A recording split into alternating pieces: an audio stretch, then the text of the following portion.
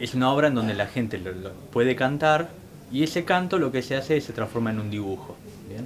La idea es que este dibujo se le llama fractal porque el dibujo se va, digamos, copiando o está dibujado a partir de dibujitos más chiquitos que tienen exactamente la misma forma que tiene el dibujo grande. Entonces la idea de fractal es que yo hago un dibujo, ese dibujo está hecho con ese mismo forma del dibujo adentro y esos nuevos dibujos más chiquititos están hechos a su vez por otros dibujos que son de la misma forma y así hasta el infinito. Principalmente del ámbito de la docencia vinculada a lo que es el arte multimedia en distintas universidades. Biopus actualmente está dedicado al arte digital interactivo, un poco artistas, un poco científicos, programadores. Al igual que la religión y, la ciencia de alguna forma lo que nos permite es saber cómo es el mundo o hacernos creer cómo es el mundo de alguna forma.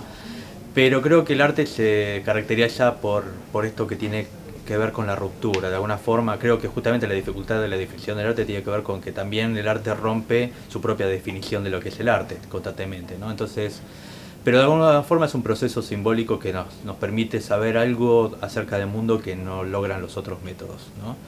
Eh, para mí también el arte es un proceso psicológico que se produce en las personas y, como tal, digamos, en cada persona funciona de distinta manera. Entonces, a mí me preocupa aquello que, que produce arte en mí, de alguna forma, eso que tiene que ver con con, esa forma de develar cosas nuevas sobre la realidad, cosas que, yo no puedo ver de otra forma, con esa forma de decir aquello que es indecible. ¿no? Creo que, el arte tiene que ver con eso. Para mí el arte es básicamente un modo de expresión y, además un modo de pensar. Yo la manera en que hago el arte eh, la vivo como una manera de reflexionar acerca de las cosas, de, la resolución de problemas, este, del tratar de imaginar cosas que no son, en principio no parecen posibles, eh, de encontrar y resolver el desafío de esas cosas que uno piensa imposibles eh, en un primer momento. A mí lo que me interesa es lograr integrar la particularidad subjetiva del otro en el discurso de la obra.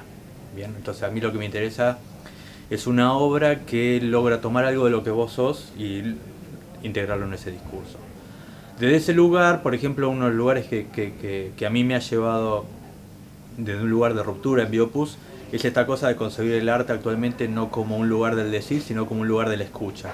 ¿Qué quiero decir con esto? Que para mí el arte, en este momento creo que es un arte que está más invitado a escuchar lo que la gente tiene que decir acerca de la realidad, que nosotros decirle a la gente qué es la realidad hay teóricos que hablan de information arts, ¿no? que tiene que ver con este arte vinculado al código, a la programación, al tratamiento de la información, al proceso, ¿no? en donde lo importante no es en sí el objeto resultado del proceso, sino el proceso en sí.